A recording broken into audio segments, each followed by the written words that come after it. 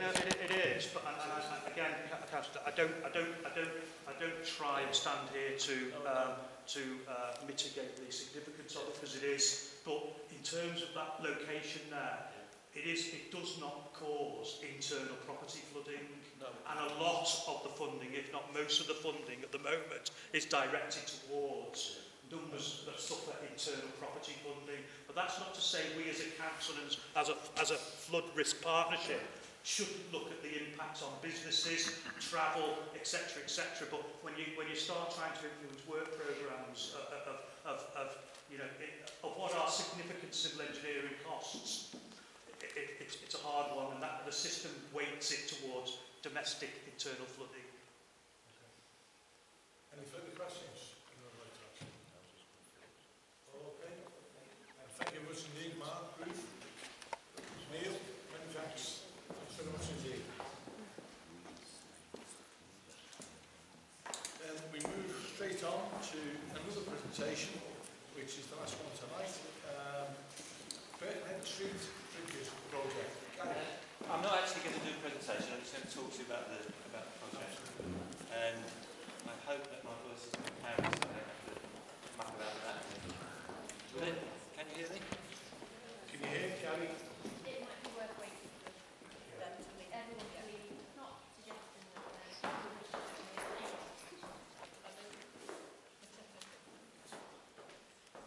Okay, Gary. Right. Thank you. I'm to come and talk to you tonight because I want to talk to you about, I think, what's the really good work that's been done by a group that we've called the Town Centre Forum. Uh, and that is a, a collection of services and projects that includes uh, our good Birkenhead constituency manager here, uh, the police, the business uh, improvement development teams, town centre hosts, the, the licensing team, environmental health, trading standards, the ASBO team, the regeneration team, the Wirral Waste Recovery Substance Misuse team, the ARC, the YMCA, uh, and Cheshire Wirral Partnerships uh, homelessness nurses. So you can see from that it's quite a collection of people, uh, quite a comprehensive range of people. Um, so we've got this group together. Um, uh, catalyst for this was a report that came into us uh, from the uh, Shop Mobility project in the centre of Birkenhead, uh, in, in the area, I don't know if you know the area by the car parks at the back of B&M. And in the summertime, they, were, had, they reported a couple of occasions where there was a large collection of uh, people on the street drinking um, and being quite uh, agitated, threatening in the behaviour, not overtly aggressive, but were behaving in a way that was intimidating to people. Uh, to the point where the staff felt uneasy about going out, and this was obviously affecting shoppers in the vicinity. So that was the catalyst. We're hearing about those incidents, got us to get this group together.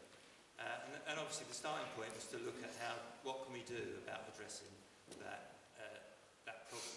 Well, the magic ingredient was to get people to all talk together, bringing all those services together. Um, you think that all these people would know each other, but they didn't. So the first time that some of the people knew of the existence of other projects was when we first got them all in the room together. Uh, and as, as a consequence of that, understandably, people started to talk to each other, shared experience, shared their knowledge and information, and action started to get taken against that group. Now, I'm, I'm not pretending that, that that problem has been eradicated completely, but certainly haven't had any subsequent reports uh, of such concern from, from shop mobility. Now, it's an ongoing uh, situation. I think having got the group together to deal with that particular problem, we've kept it going. It's met four times since, um, and it's a continuing look at, at street drinkers around the town centre, what we can do about them. What we've got is a combination of a very juicy carrot in the sense that we've got some really good treatment services and supportive interventions, and then we've also got the police getting involved as well, and the police bringing with them if, uh, the, the, and the antisocial behaviour team, very importantly, the antisocial behaviour team. So there's the um, option that if you don't, if, you, if your behaviour continues in this way, then you're going to have to uh, deal with the, the law enforcement agencies. And in one particular occasion, that's been very effective, where one person was identified as a, a sort of leader, a gang leader, a, a gang of youths that were causing a fair amount of uh, unease and distress. This person was identified, the antisocial behaviour team took action. Um, he did end up in court, and as a consequence of that, though, he seemed to have a bit of a light on the road to Damascus moment and has subsequently engaged uh, very productively with the Whitechapel project and with the treatment services. And he seems to have decided that it was not time for him to change his, his behaviour. As a consequence of him changing his behaviour, that seems to have rippled out and affected the group of people that he was a bit ring ringleader for. So there seems to have been a reduction in problems from that. And this seems to have arisen from a, a concerted and coordinated and collective approach of those different services to addressing the problems being presented by that particular person. Um, so as I say, as well as dealing with the problems as they're, arising, some really good work has been going on to reduce the, uh, address the causes of those problems. One example of that is the Reducing the Strength campaign, which I imagine well, some of you might have heard about. And that's a, a scheme where uh, retailers, off-sale uh, licensed retailers of alcohol, are invited or to join a scheme where they agree not to sell super strength lager and cider above 6.5%. Nearly all the retailers in central Birkenhead have now signed up to that scheme and agreed to do it. So that's taken, very largely taken the supply of, which is a pernicious substance really, uh, off, away from people who drinking. And that's not going to say they're going to stop drinking, but instead of drinking stuff of a really high strength, very toxic uh, they're drinking uh, alcohol of a lower, significantly lower alcohol content. So the alcohol intake is going to be less. Um, our, some of our drinkers are actually grateful for that intervention because it introduces some control that they don't have themselves. So we, we've got that going on, as I say, around, completely around the centre of Birkenhead and it, that's rippled out now and is happening in other areas. Following on from that has been uh, an additional scheme called the custodian scheme where the retailers that have signed up for reducing the strength have now, several of them have agreed to be custodians. That means that they become a point of referral into the treatment services. So from some of the customers that they still have buying alcohol there, if they're, if they're thinking that this person is, I think this person's got some difficulties with alcohol, uh, they are now offering that person information and suggesting that they might be referred to an alcohol service. And I think the last I heard, there three or four people have actually been referred, and that's in a relatively short time. To do that, they've received training and they get support from the alcohol, the specialist alcohol service. So we've now got shopkeepers, alcohol re retailers, being a point of access into, into the structured treatment services. So I think that's a real move forward and a good sign of responsible retailing as well. Addition to that, the, the group has very practically identified locations where people have been drinking and using drugs. Uh, and these, some of these sort of hidden away back alleys, back entries, secret corners, uh, were really polluted with litter. The, the obvious and apparent paraphernalia uh, from drinking, which is empty bottles, empty cans, um, paraphernalia from drug use, you know, very unpleasant injecting equipment, and generally teams involved have sort of come together, the YMCA, the Town Centre Host, the Town Centre Outreach, uh, I think I think at McDonald's have actually participated to some extent. And clean-up's taken place. They've gone out and actually cleaned up the dirty alleyways themselves and got bags and bags of litter. And there have been some really impressive before and after photograph shots collected, which we're intending to use to show to people that are not quite convinced there is a value in signing up to some of these schemes, uh, what the value is. This is, this is consequence of the retail of all these products. This is what we find down the back entries, and you know, this is this is the message that we're finding around the place. Um, and that, I think that that photographic evidence has been presented to people on a couple of occasions, and it has actually uh, jogged them into reconsidering their position. So there's been that practical action taken.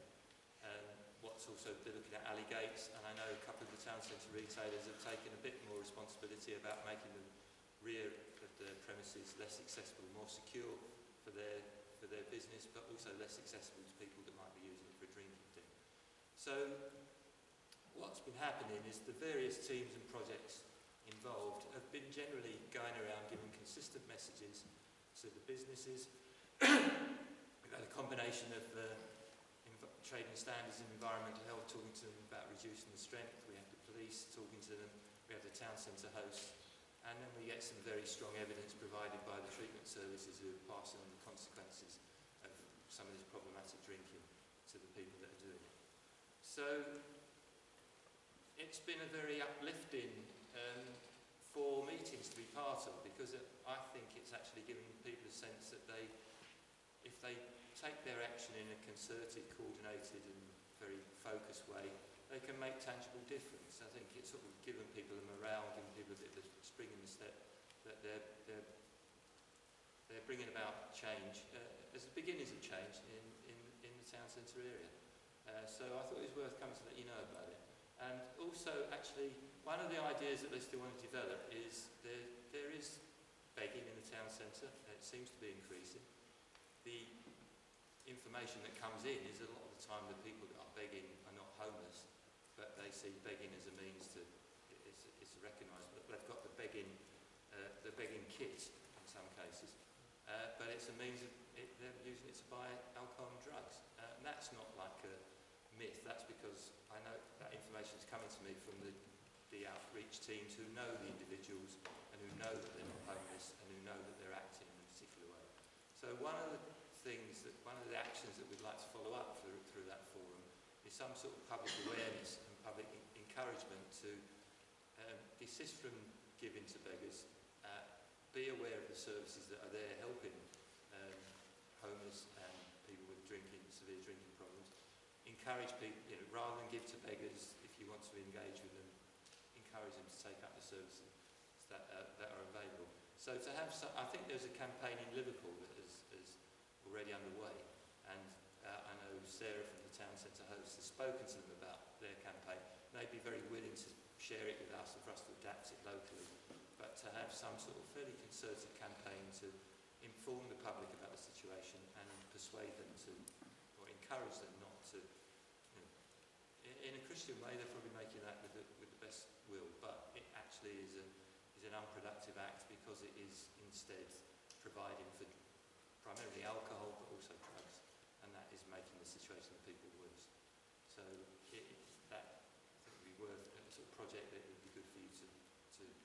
consider, and perhaps that if, if it meets your approval, we look to action that going forward.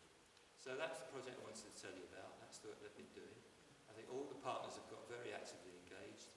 Um, I think all, all partners are seeing the benefit of that.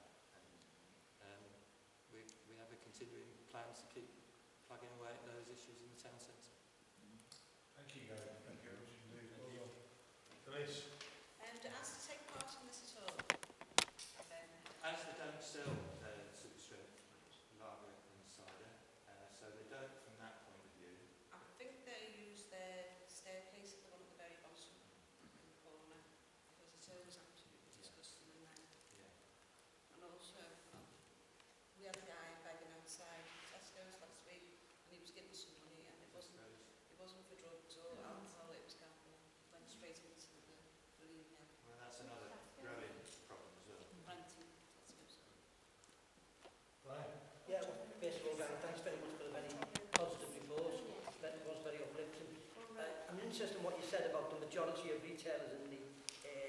centre now, refused to sell the strong alcohol. Well, they, they've, chose, they've decided not to. Yeah, there's a lot of danger that some of the, the hardened, if you like, street drinkers might suss out where they can still get the strong lager. Uh, and so unless you get everybody on board, there's yeah. a danger that they might just go somewhere else. My, the last knowledge I had is all but two.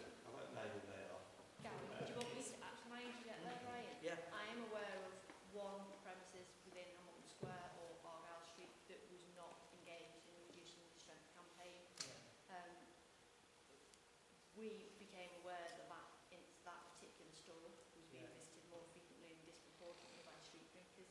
Yeah. As a result of that, one of the officers that worked that area um, paid extra attention, identified an intoxicated person using with alcohol, and they were taken, they were given, the staff there were given fixed penalties for um, right. serving alcohol to somebody who's drunk, yeah.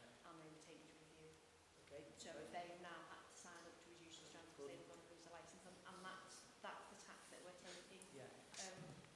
smaller retailers have, have taken that on board. There are a couple of um, companies that we are speaking to and saying, actually, you want to sign up for reduced strength. Barstool's not one. They don't cause us a problem where they've actually got an increase of street drinkers stealing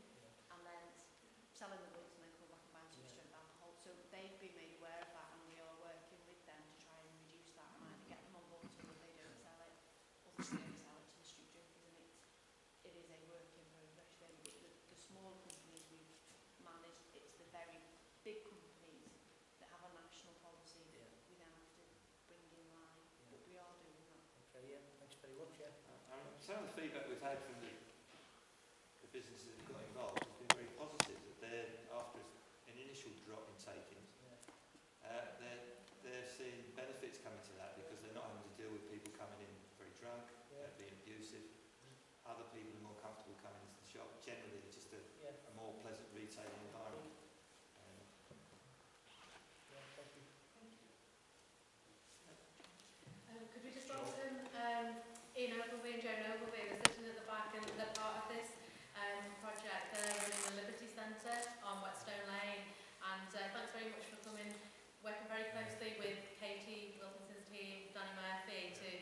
try and um, provide a service for, for street vendors to go during the day, aren't you? Do you want to tell us a little bit yeah, about that? Um, yeah, from the Liberty Centre. Um, uh, Sergeant Murphy contacted us with uh, a view to uh, us providing a safe haven on uh, mischief night, bonfire night and Halloween. So the first one we did was Monday. We were really successful. We had over, over 30 of them in over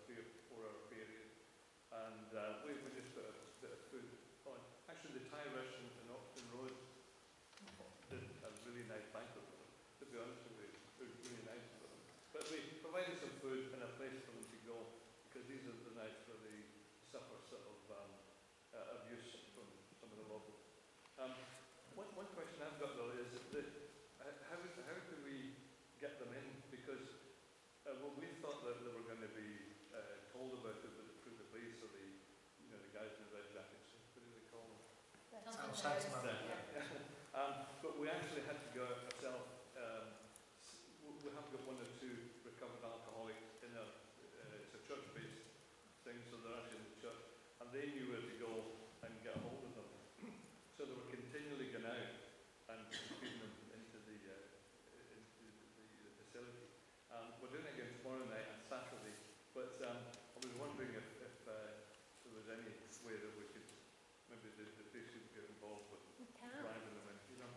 certainly notify all the people involved in this forum that you'll be open. As long as I know when you're open, I'll make them aware. It's, and it's a one-off one in response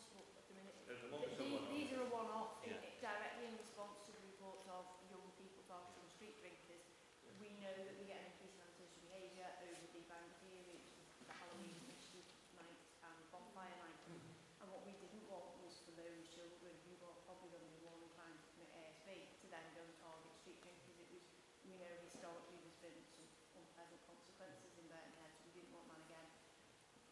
Danny, Danny this up. We have, we have told them the CSOs have been out, but sadly I think they may be intoxicated and not necessarily take it in. It is, it was, they've got a there's a daytime provision in the Charles Thompson Mission and the Salvation. Army, but we knew that there was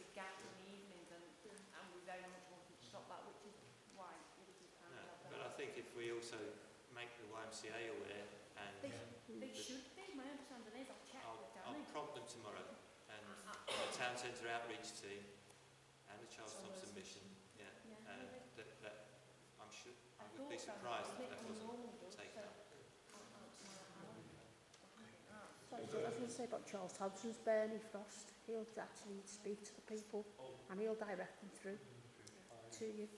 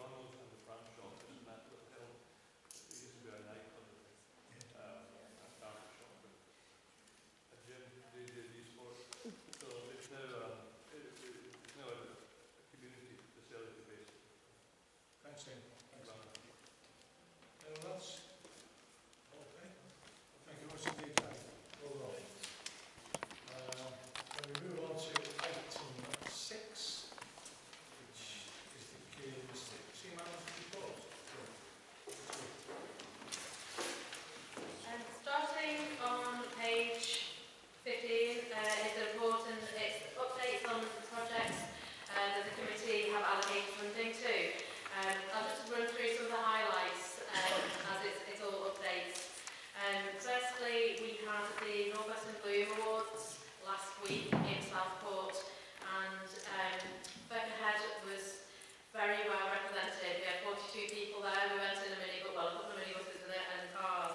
And there were um, 16 awards altogether for Birkenhead groups. First time they entered, spoke to Brian and Melanie, Brian was there with uh, as well. And, um, but just to say that actually Oxton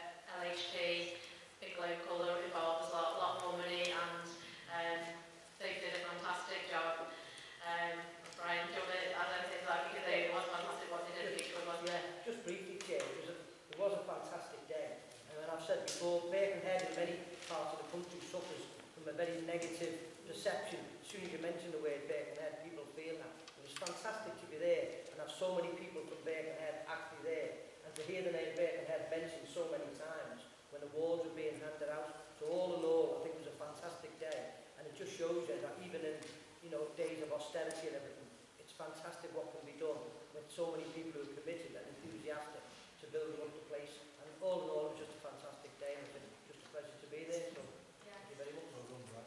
The judge uh, is coming back in a month to give us some feedback on how we can expand. And so we're going to develop the partnership, work as much as we can with um, the police, the other, the housing associations, uh, just as much as we can to do community events, engagement events, and hopefully we'll come back with even more awards next year.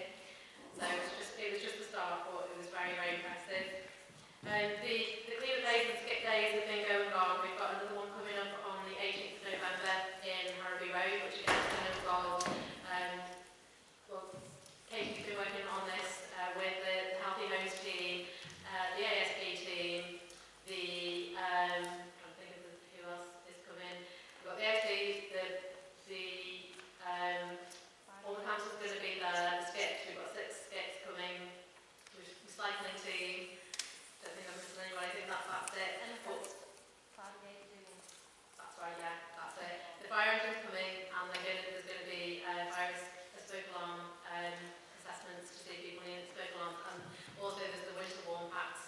um, are coming as well.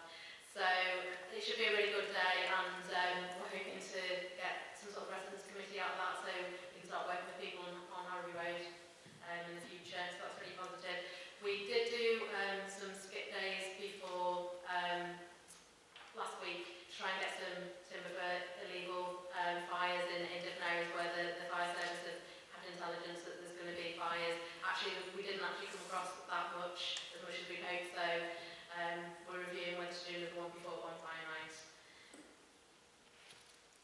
The, just on bonfire night, there's been a lot of projects um, that we've been working on um, to try and uh, help with ASB problems.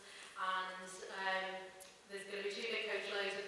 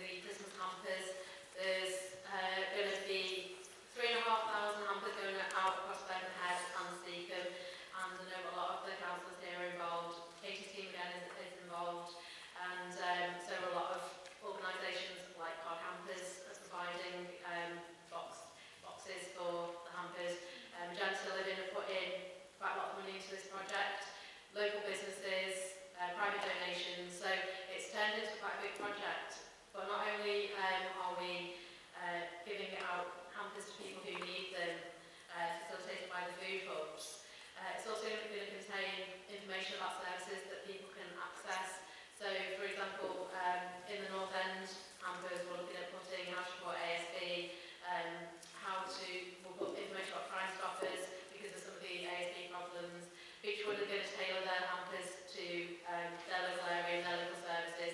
We're using it as ways of promote, promoting other services to the people who get the hampers. So again, it's the case of we're looking to make sure that we get referrals from people who really need um, those their own prices and, and they need the food. So anyone who you think needs um, a hamper, please direct them to the food hubs and then facilitate them receiving the hamper. We've got quite a few distribution arms. We've got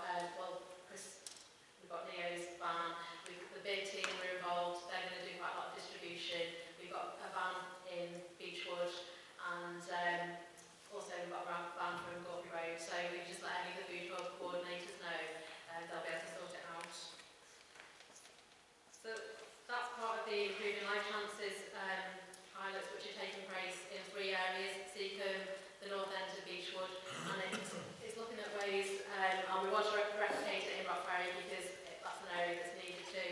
Um, it's, it's a public health initiative and it's trying to find ways, because there's a lot of services available, but ways that um, are a sort of bridge to enabling residents to access those services because not all of them are being accessed. So there's a pilot uh, task group set up in each area looking at how they can um, facilitate, make that bridge so more residents take up services.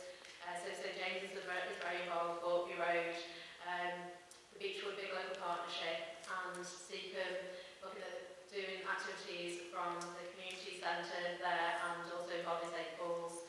Uh, so it's a little bit bit wider. But I know Mike's been to uh, one of the meetings because um, Mike's looking at doing sports development with food elements. So if you want to add anything about that, Mike? It's a project that our, one of our funders, Street Games, are involved with. It recognises the fact that youngsters who are on uh, free school meals what happens during the holiday periods. So we're trying to combine the food, obviously, with the activity. And when, you know, if you think about yourself, the food obviously is the energy that allows you to run around and function well. But if you're only like me, you, you know, you're missing out your meal time or something, you also start to get a mood change. You become agitated and a bit angry, and that happens with the youngsters as well. So, really want to put the two together, and it's pretty obvious when you start to think about it. So, at the moment, we've got our mobile sports unit that goes out in the evening. We'd like to be able to put a tow bar on the back and take a potato van with us as well, so we can serve jacket potatoes with fillings. It's nice and easy, it's cheap, and for a pound a head, in effect, you're getting a very nutritional meal, whether it's beans on top or cheese on top, something simple. So we're working that up at the moment, trying to roll it out. We're looking for funding for, from Street Games for Easter next year and the summer holidays. Two areas, Bidston, St James, working out of the tennis centre, possibly the Beechwood as well, um, down to Rock Ferry, Tranmere. So it's in the melting pot as we speak, but I've got to get that in before Christmas. So look out for that one. But definitely got to work in partnership to hear the good work that's going on. Yeah, so that's just the highlights. Um, the rest of the information is in detail in, in the report up until uh, page 27. And then there's uh, appendices with more details of outcomes of each of the projects for your information. Any questions on the report? Alan? Yeah, can I, I'd just uh, like to, to mention the, the Birkenhead in Bloom. It was a fantastic Yeah. uh, Great uh, stuff. achievement to get all those awards, and naturally the, the Oxton Society and, and the people in Oxton Village were delighted to win the, the, um, the award for Oxton. But it was really just to pick up Brian's point that it'd be great if, if, if we keep it going and perhaps put more money into it next year. Um, I know, I know Georgia in Oxford, in Claughton Village, where you're going for an automatic watering system and, and trying to improve it there. It'd be great if we could do something around the library, um, with the properties coming down next to the library, if, if some improvements could be done there. So I think fantastic it was, as it was this year, it'd be really great if we can keep it going and improve on it the next year. Yes, sir. Chair, I'm, I'm Mike Byrne from the Viking uh, Youth Club. We submitted a written uh, question which, if I may, I've got it here. uh, may I read it? Uh, yeah, we, we haven't got that yet, it's AOB. Okay, fine. AOB. I've got two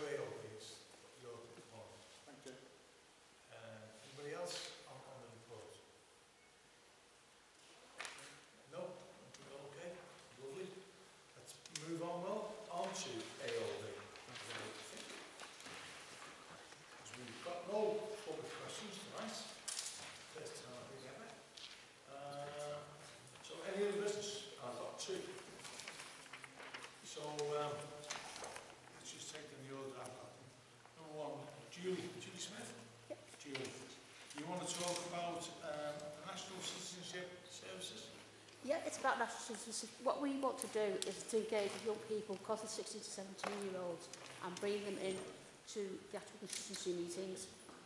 And I was going to ask, is there any chance that we could actually uh, have a spot for them within the meeting where they can ask questions? Uh, to engage with them, bring them in. We did try it last week. We went into the council chambers last week, last Friday, over at the I town hall. but it was really good. kind of a great day, didn't we, Chris? Exactly.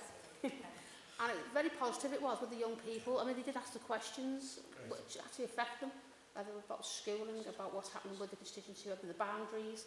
So from that, they have said they want to be part of it and be more coming into it as well. So we were just asking, is there any chance that we could do this and bring the young people in?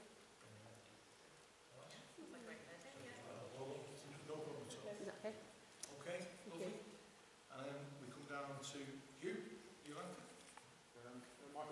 Mike?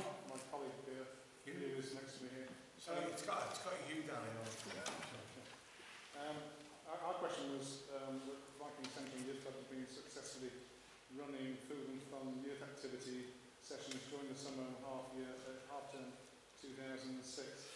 Um, and together with community engagement, a social supermarket, junior youth club, um, without any financial support from the local authority sources and we asked the committee if they're willing to, uh, willing and able to provide us with assistance to ensure sustainability of continued provision of the centre and to avoid possible closure by March 2017. Now, um, the wind has somewhat been taken out of our sails because just after we'd submitted that, we uh, heard that the Birkenhead Community Fund was inviting applications